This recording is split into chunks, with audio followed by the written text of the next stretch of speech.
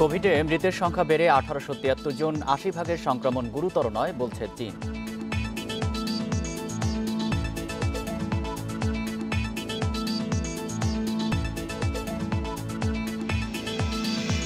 চীনের ধর্মীয় মতাদর্শ থেকে সরিয়ে আনতে বন্দী হচ্ছেন উইঘুররা ফাঁস হওয়া নথির তথ্য।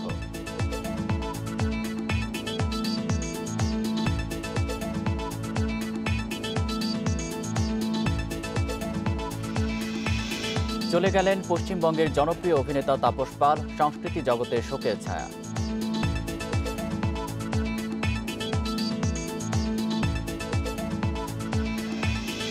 আমন্ত্রণ, আন্তর্জাতিক খবর নিয়ে আমাদের নিয়মিত আয়োজন পূর্ব পশ্চিমে। আপনাদের সাথে আছি আমি আলী আশরাফ। শুনছিলেন শিরোনাম, এবার বিস্তারিত।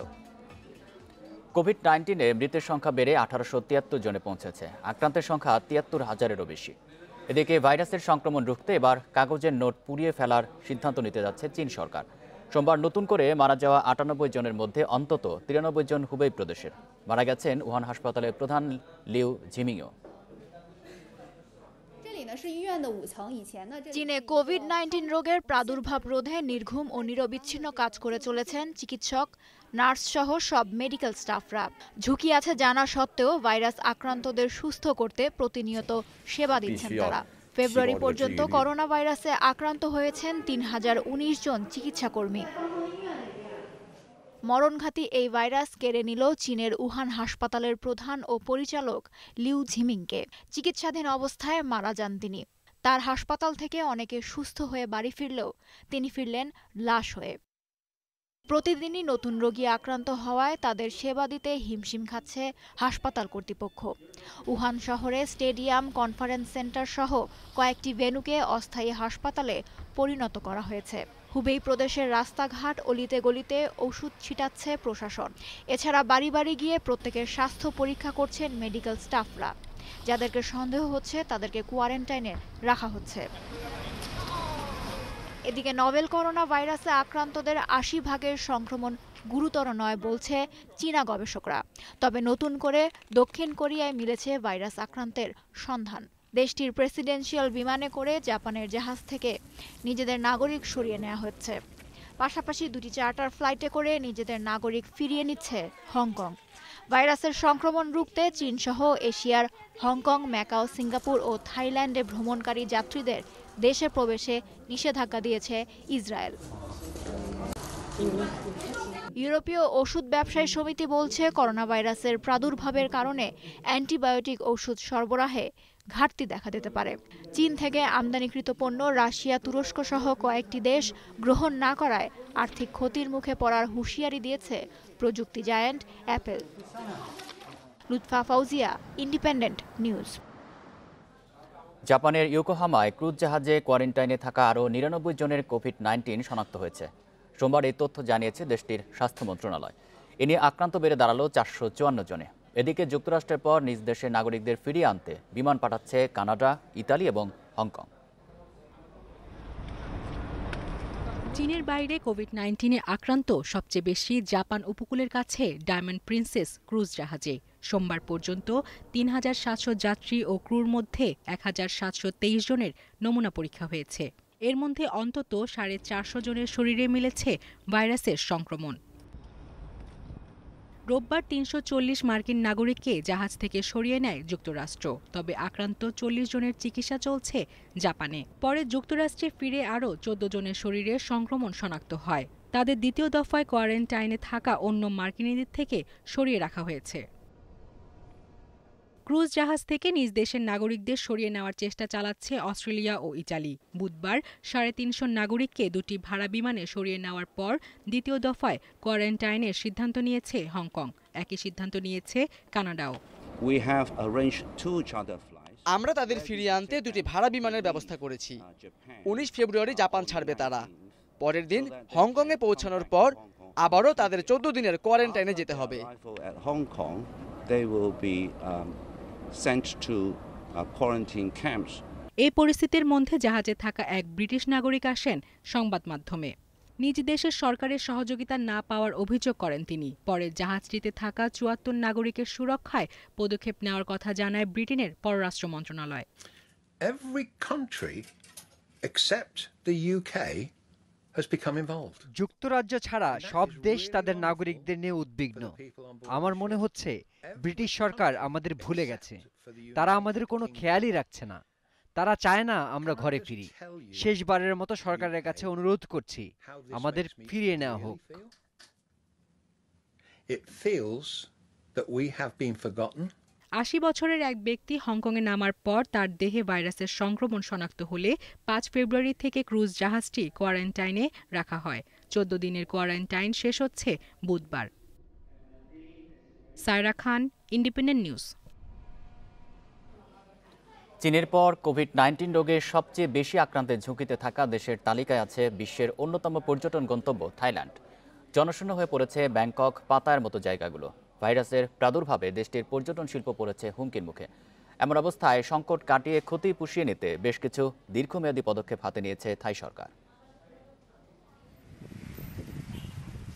নভেম্বর থেকে মার্চ থাইল্যান্ডের পর্যটন মৌসুম। কিন্তু এবছর কোভিড নাইন্টিনের কারণে বড় ধরনের হুমকির মুখে পর্যটন নির্ভর অর্থনীতির এই দেশটি। মন্দার আশঙ্কা করছেন বিশ্লেষকরা। বছরের শুরুতেই পর্যটক সংখ্যা কমেছে তেতাল্লিশ দশমিক পাঁচ শতাংশ। এর মধ্যে বেশিরভাগই চীনা পর্যটক। জানুয়ারি থেকে খালি পড়ে আছে দেশটির বেশিরভাগ ট্যুরিস্ট স্পট দেশটির প্রধান বিমানবন্দরগুলোতে কমেছে আন্তর্জাতিক ফ্লাইটের সংখ্যা। বাতিল হচ্ছে হোটেল রিসর্ট বুকিং আর ট্যুর প্যাকেজ। বিপাকে পড়েছে চুক্তিভিত্তিক ট্যুর গাইডরা। বেকার বসে আছে পর্যটন কেন্দ্রগুলোর সাথে জড়িত কর্মীরা। মৌসুমে প্রতিদিন পনেরোশো থেকে দুই হাজার দর্শক সমাগম হয়, অথচ এখন দিনে হাতে গোনা দুশো পর্যটকের দেখা মিলছে না। ভাইরাসের কারণে প্রভাব পড়েছে ব্যবসায়। সংক্রমণের ভয়ে মানুষ এইসব জায়গা এড়িয়ে চলছে।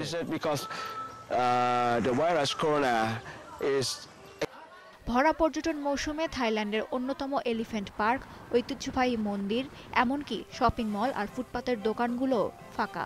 পর্যটক যেন অদৃশ্য হয়ে গেছে। ভাবছি যতদিন পর্যন্ত পর্যটক না ফিরছে, অস্থায়ীভাবে দোকান বন্ধ করে দিতে হবে। এছাড়া আর উপায় নেই। সংকট মোকাবেলার জন্য থাই সরকার বেশ কিছু পদক্ষেপ হাতে নিয়েছে। পর্যটন খাতের সাথে সংশ্লিষ্ট প্রতিষ্ঠানগুলোকে ঋণ প্রদান, করের হার কমিয়ে আনা এবং খণ্ডকালীন চাকরির প্রশিক্ষণের ব্যবস্থা করা হবে বলে জানিয়েছে পর্যটন মন্ত্রী। এছাড়াও ব্যবসায়ীদের কর্মী ছাঁটাই বন্ধ করা এবং দেশের অভ্যন্তরে স্থানীয় পর্যটকদের সংখ্যা বাড়াতে প্রচারণা চালাচ্ছে থাই সরকার। Lutfa Fauzia Independent News. চীনের জিনজিয়াং প্রদেশে সংখ্যালঘু উইঘুর মুসলিম সম্প্রদায়কে ধর্মীয় ও সাংস্কৃতিক মতাদর্শ থেকে সরিয়ে আনতে ভয়ঙ্কর কৌশল নিয়েছে চীনা সরকার। সম্প্রতি উইঘুরদের নির্যাতনের নথি ফাঁস হয়েছে। এসব নথি উদ্ধৃত করে বিবিসি এসব তথ্য জানিয়েছে। চীনে উইঘুর মুসলিমদের ওপর নির্যাতনের ঘটনায় দীর্ঘদিন ধরে সমালোচনার মুখে চীন। যদিও এই অভিযোগ বরাবরই অস্বীকার করে এসেছে দেশটি। এবার চীনের জিনজিয়াং প্রদেশে আটক তিন হাজারের বেশি উইঘুরের ব্যক্তিগত বিস্তারিত তথ্যের নথি ফাঁস হলো। উইঘুর সম্প্রদায়কে তাদের ধর্মীয় ও সাংস্কৃতিক মতাদর্শ থেকে সরিয়ে আনতে চীনা সরকারের ভয়ঙ্কর কৌশল উঠে এসেছে এই নথিতে। বিবিসির প্রতিবেদনে বলা হয়েছে, দাড়ি রাখা, বোরখা পরার মতো সামান্য কারণে উইঘুর মুসলিম সম্প্রদায়ের লাখ লাখ নাগরিককে অনির্দিষ্টকালের জন্য গোপনে আটকে রাখা হতো। কীভাবে তারা প্রার্থনা করেন, পোশাক পরেন, কাদের সঙ্গে যোগাযোগ করেন এবং তাদের পরিবারের সদস্যদের আচরণ, এসব তথ্যই একশো পৃষ্ঠার ওই নথিতে রয়েছে। চীনের দাবি, সন্ত্রাসবাদ ও ধর্মীয় উগ্রবাদকে দমাতে এই প্রক্রিয়া অবলম্বন করা হচ্ছে। জিনজিয়াংয়ে চীনের নীতি বিষয়ক বিশ্বের শীর্ষস্থানীয় বিশেষজ্ঞ অ্যাড্রিয়ান জেঞ্জের মতে, সম্প্রতি ফাঁস হওয়া এই নথি নির্যাতনের প্রকৃত দলিল। তার মতে, নথিটি এখন পর্যন্ত তার দেখা সবচেয়ে শক্তিশালী প্রমাণ, যাতে প্রচলিত ধর্মীয় বিশ্বাসের স্বাভাবিক অনুশীলনের কারণে নিপীড়ন ও শাস্তির বিষয়টি উঠে এসেছে। নথিটিতে একটি ট্রেনিং ক্যাম্পের কথা বলা হয়েছে। ওই ক্যাম্প এর আগে চীন সরকারের ব্যবস্থাপনায় পরিদর্শন করেছে বিবিসি। বিশেষজ্ঞ ও মানবাধিকার সংগঠনগুলোর দীর্ঘদিনের অভিযোগ, জিনজিয়াংয়ের ওই শিবিরগুলোতে দশ লাখের বেশি উইঘুরকে আটক রাখা হয়েছে, যার মধ্যে বেশিরভাগই মুসলিম। যদিও এগুলো বন্দি শিবির নয়, বরং সংশোধনাগার বলে দাবি করছে চীন। Sadia Fren, Independent News. Bangladesh অর্থনৈতিক, জীবনমান ও নারী অগ্রযাত্রা সহ কয়েকটি ক্ষেত্রে ভারতের চেয়ে এগিয়ে বলে মন্তব্য করেছেন দেশটির খ্যাতনামা লেখক ও সাংবাদিক করণ থাপর। ভারতে নাগরিকত্বের প্রতিশ্রুতি দিলে বাংলাদেশ অর্ধেক খালি হয়ে যাবে বলে স্বরাষ্ট্র প্রতিমন্ত্রী জি কিষাণ রেড্ডির মন্তব্যের সমালোচনা করে কথা বলেন তিনি। কিষাণ রেড্ডির মন্তব্যকে বাংলাদেশ নিয়ে অজ্ঞতা বলে অভিহিত করেছেন সিএনএন, আইবিএন ও ইন্ডিয়া টুডের সঙ্গে কাজ করা সাংবাদিক করণ থাপর। তিনি বলেন, রেড্ডি জানেন না ভারতের তুলনায় বাংলাদেশ অনেক ক্ষেত্রে ভালো করছে। বিশেষ করে জীবন ধারণের ক্ষেত্রে। সেখানে জীবনযাপন নিশ্চিতভাবেই আরও ভালো বলেও জানান তিনি। করণ থাপরের তথ্য মতে, ভারতের নবজাতকের মৃত্যুর হার প্রতি হাজারে প্রায় তেইশ শতাংশ, যেখানে বাংলাদেশে সতেরো ভাগ। ভারতে শিশু মৃত্যু হার ত্রিশ শতাংশ, যা বাংলাদেশে পঁচিশ দশমিক এক চার শতাংশ। যুক্তরাষ্ট্র নাগরিকত্বের প্রতিশ্রুতি দিলে ভারত অর্ধেক খালি হয়ে যেতে পারে বলেও রেড্ডির মনে রাখা উচিত। চলে গেলেন পশ্চিমবঙ্গের জনপ্রিয় অভিনেতা তাপস পাল। ভোরে মুম্বাইয়ের একটি হাসপাতালে তিনি মারা যান। দীর্ঘদিন ধরে তিনি স্নায়ুরোগে ভুগছিলেন বলে জানিয়েছেন চিকিৎসকেরা। ছিল উচ্চ রক্তচাপজনিত সমস্যাও। তার মৃত্যুতে শোক নেমে এসেছে সংস্কৃতি জগতে। ছোটবেলা থেকেই অভিনয়ের প্রতি ছিল তার প্রবল আগ্রহ। সেই আগ্রহ থেকেই পরিচালক তরুণ মজুমদারের হাত ধরে মাত্র ২২ বছর বয়সে স্বপ্নের চলচ্চিত্র জগতে পা রাখেন তাপস পাল। দাদার কীর্তি চলচ্চিত্রে অভিষেকেই জানিয়ে দেন দীর্ঘদিন থাকার জন্যই এসেছেন বাংলা ছবির দুনিয়ায়। উনিশশো আশি সালে মুক্তি পাওয়া দাদার কীর্তি দিয়ে জিতে নেন দর্শক সমালোচকদের মন। এরপর একে একে উপহার দেন মায়া মমতা সুরের ভুবনে সমাপ্তি সাহেব গুরু দক্ষিণা সহ অসংখ্য জনপ্রিয় চলচ্চিত্র।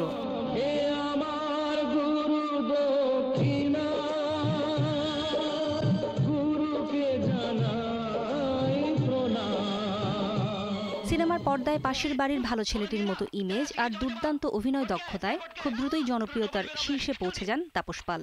আশি ও নব্বইয়ের দশকে বাংলাদেশেও তিনি অর্জন করেন সমান জনপ্রিয়তা। টালিউডের পাশাপাশি অল্প সময়ের জন্য কাজ করেছেন বলিউডেও। অবোধ নামের হিন্দি চলচ্চিত্রে তার বিপরীতে ছিলেন আরেক বলিউড তারকা মাধুরী দীক্ষিত।